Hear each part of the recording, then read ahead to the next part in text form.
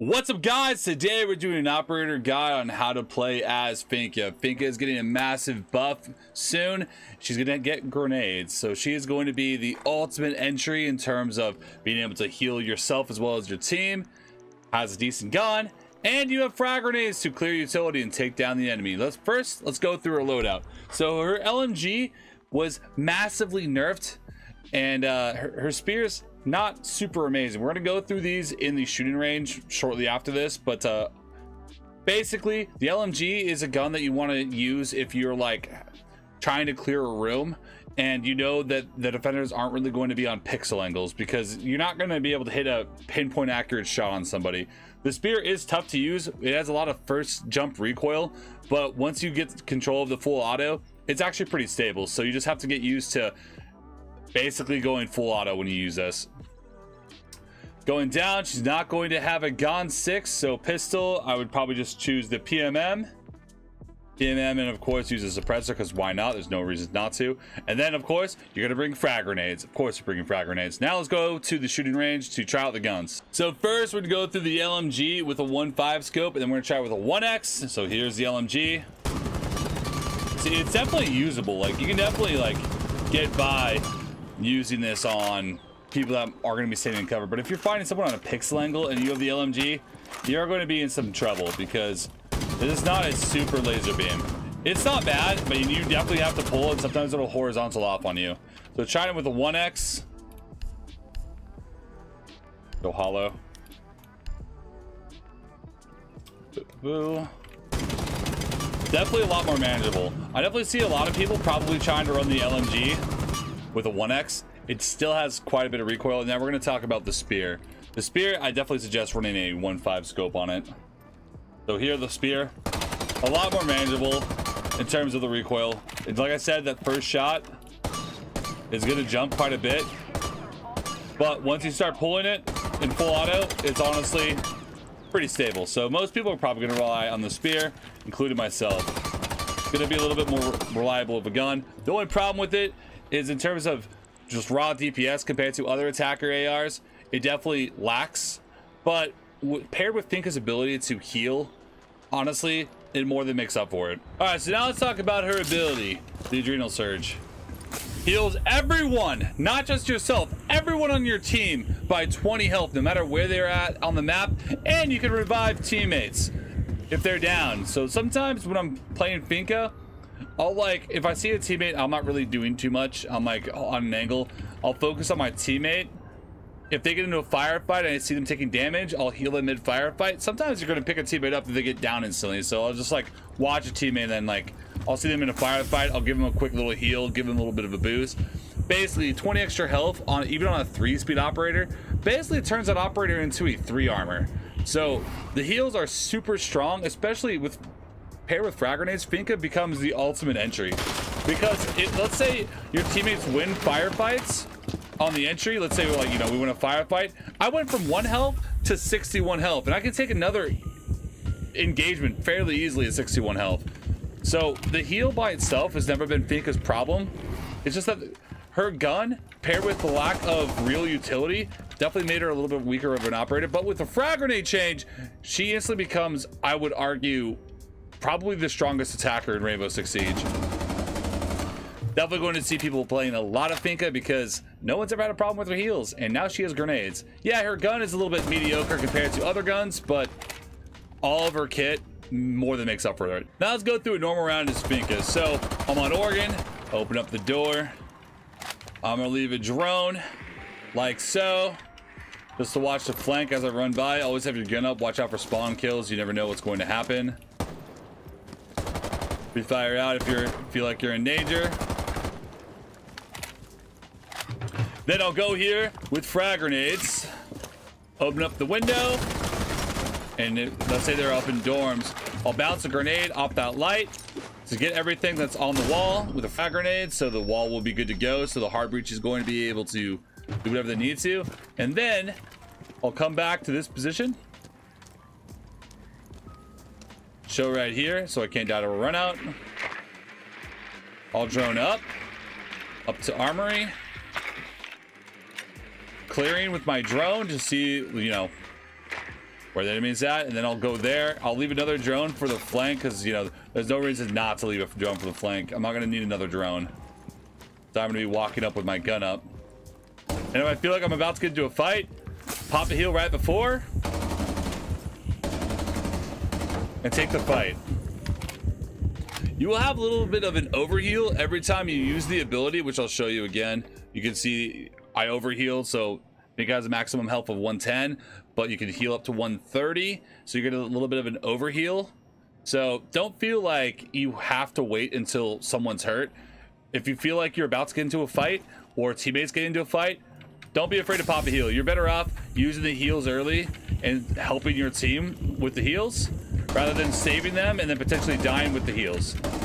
Plus, as Finka, you don't have any amazing utility that your team needs for the late round. You have grenades, you're looking for the picks, you're looking for to destroy utility, which we'll go over some grenade throws shortly. But uh, you're looking for just destroy utility, kill some enemies, and uh, just take fights. I mean, you're the combat medic. Find your fights and try to win them. Okay, now we're going to go through a couple rounds of me playing as Finka. Granted, I don't have the grenades, so I'll tell you guys exactly how I use the grenades. We will go through some grenade clips after these, though. So here, I open up the door. I know they're probably in CC. Drone out. Checking there's no trap. I see one near the door going for a run out. We hold the angle. So this is one thing I want to talk about really quick. Go back to that really quick. So I've been asked this a lot. When people go for that first peek, if they're crouched and they go back behind cover, or if they're standing and they go back behind cover, 90, I would say 95, 99% of the time, they're going to come out on the different angle. So if they were standing, they're going to, going to crouch.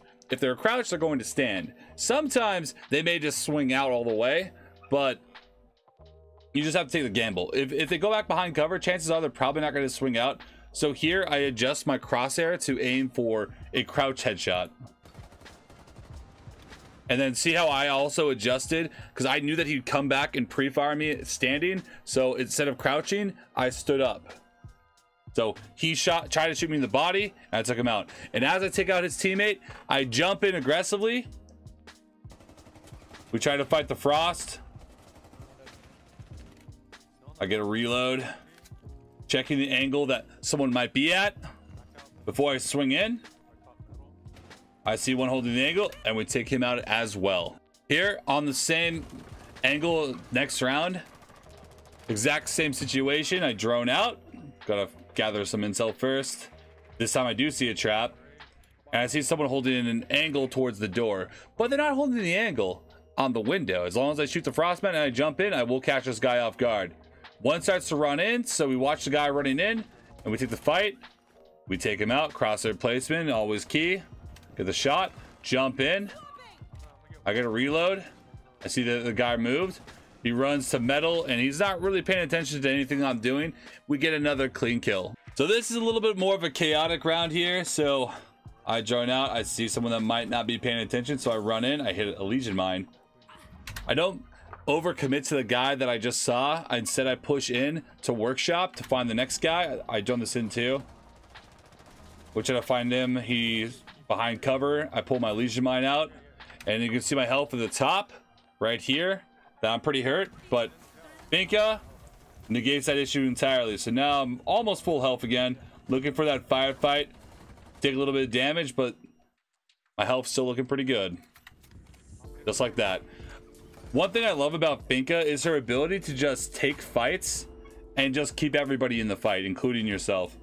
So I, I just kind of hold my ground. I pop the heal when it comes back. Jackal's a little bit hurt. We heal the Jackal up all the way.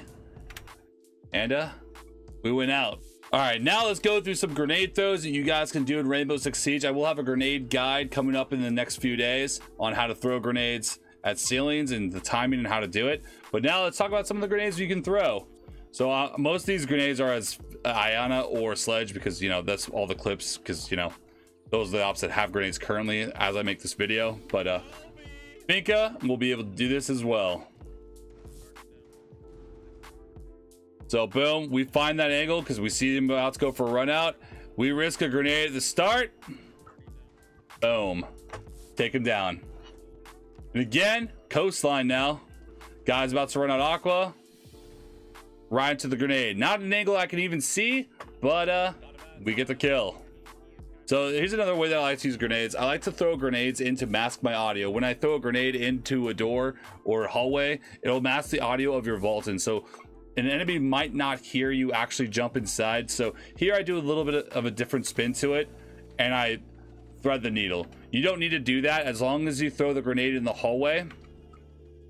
Let's say I bounce the grenade here and it bounces over here. That means I, can just jump in and I can check that angle because I know that no one's going to be here. So a lot of times I will use grenades just to clear an angle that I'm not going to be able to have time to clear with my gun. But we do hit the grenade on that pinpoint and we take them down. So here again, clearing an angle I can't really fight effectively. We get a grenade. And again, I know someone's close to the staircase. I see that shadow lurking up. This is why you should always have shadow details on medium. And we get the grenade kill. Grenade over the top for the attic. And kaboom. So here, this is how you're going to be using grenades most of the time. Grenade from underneath. So I know someone's on the half wall. We get the kill.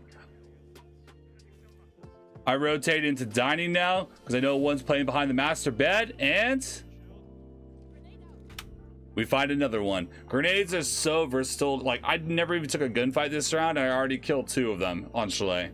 So using grenades effectively, even with Finka's slightly weaker AR compared to other attacker ARs, it's not going to matter. Your heals more than make up for it, and Finka's AR is still better than Defender SMGs, so you can more than win out.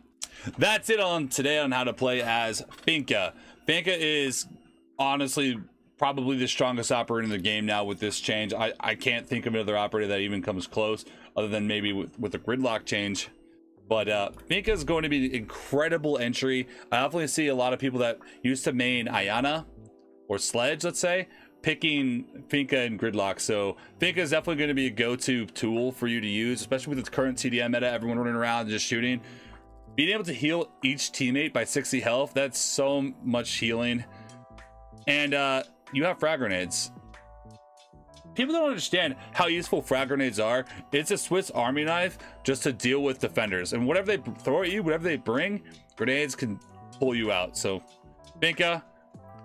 The only downside is the gun is a little takes a little bit of getting used to, but after some practice and after some time, honestly, it's not too bad. So, yeah, guys, make sure to subscribe, drop a comment, leave a like down below for more, and uh, let me know what, what operator you guys want to see next time. Peace out.